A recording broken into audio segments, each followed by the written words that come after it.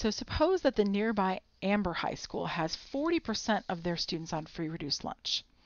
What does the least squares regression model, that's another way of saying the model, the line, what does it predict um, would pass the math test? What percent would it predict pass the math test? Okay, well we would use our line that we came up with. So remember the equation is y hat equals negative point, let me write it down, y hat equals negative 0.283x plus 69.108. And so when they tell us Amber High School has this, what they're telling us is an x value, right? They're telling us that, hey, look at that. They've got x equals 40. Well, 40%. Now, this gets a little tricky. Do you use 40%, do you use 40, or do you use 0.4? And for that, you should go back to the table or the graph. You can see on the graph it's using percent, so it's using 10, 20, 30, 40. And same thing over here on the table. You can see it's using whole numbers. So that means that you want to as well.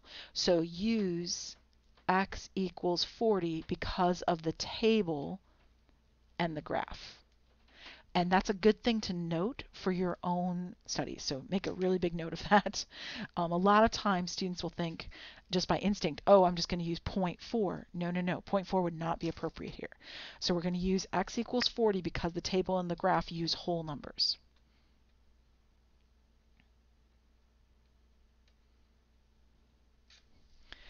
Be sure to star it, make a note of it.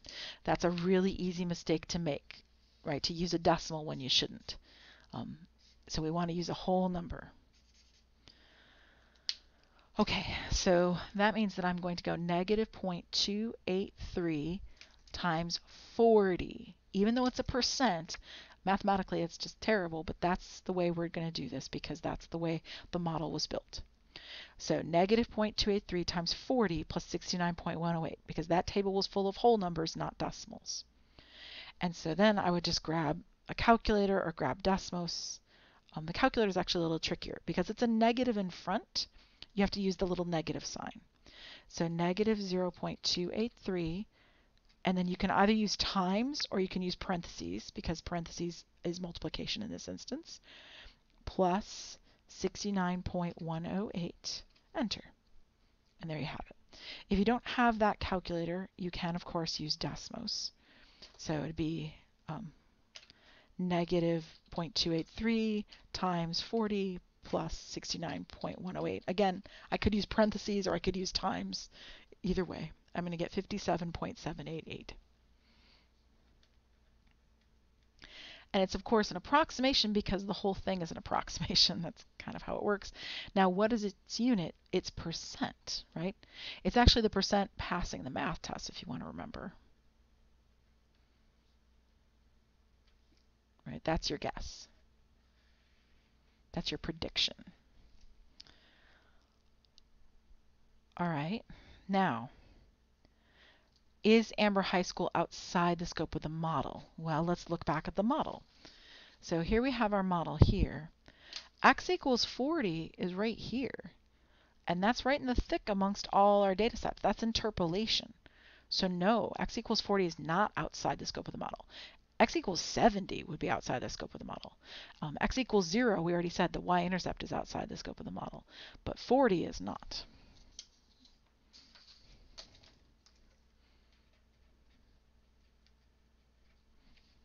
Um, 40% is uh, right among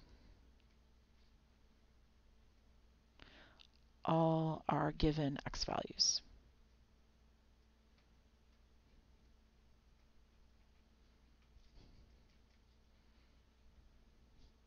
From both the table and the graph, you can see it.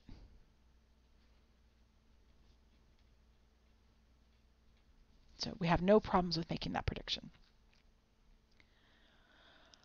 All right, now determine the residual. Um, okay, so that's a key word right there. We want to find the residual for Amber High School if they actually had 65% of their students passing the math test. Okay, so the residual formula, let me remind you, Residual is the observed y value minus the predicted y hat value. So in real life, we see it right here. In real life, we have 65%. That's the real y. So you're going to put 65% right here. And then you're going to subtract your prediction, which your prediction was right here for part D, which was 57.788. And that was also a percent. Percent, eh, for lack of a better term, it's acting sort of like our unit in this case, right? All right, so what would that be? 65 take away 57.788.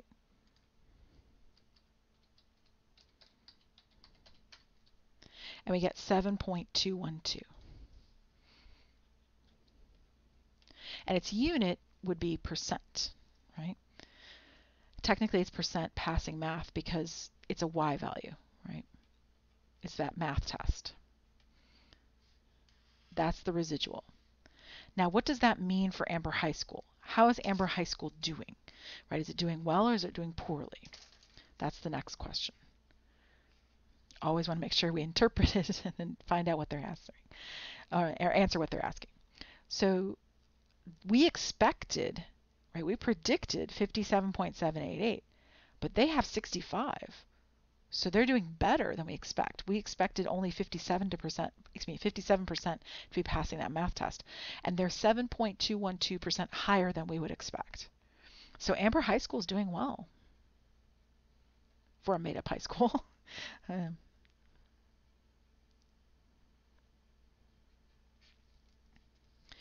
right? Because um, the percent mass passing math test per the percent passing the math test. I, I can speak correct English.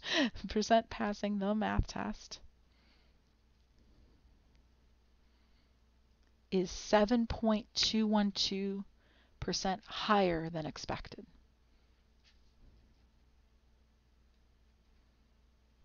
So they're doing well.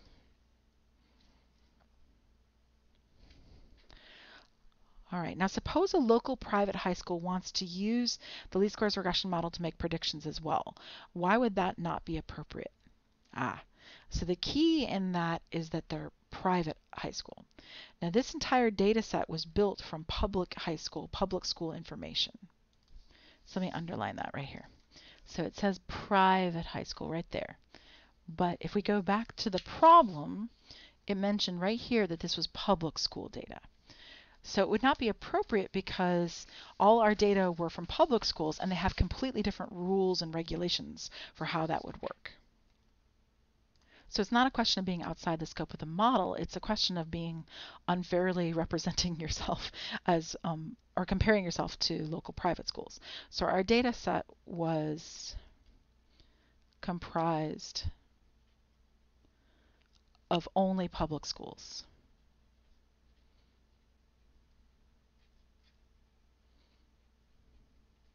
So it would be unfair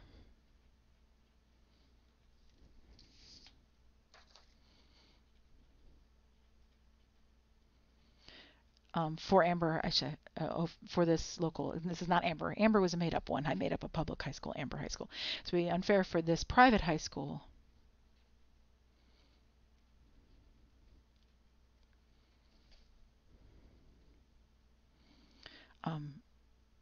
to use this model as well. I mean, I can tell you from personal experience, I've been to private high schools. I I went to one and I worked at one, um, and they can kick out people that they don't want to deal with. Right? That's the thing about high, private high schools. So private high schools um, do not have to put up with all sorts of students that they don't want to. So they have completely different rules and regulations.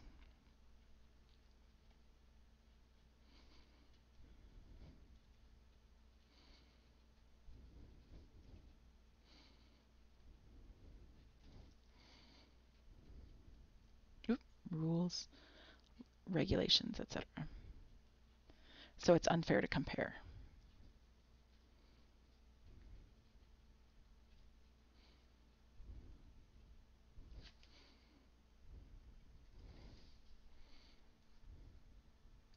And then that's a different problem from being outside the scope of the model, although it is, but it's it's basically outside the scope of the data set.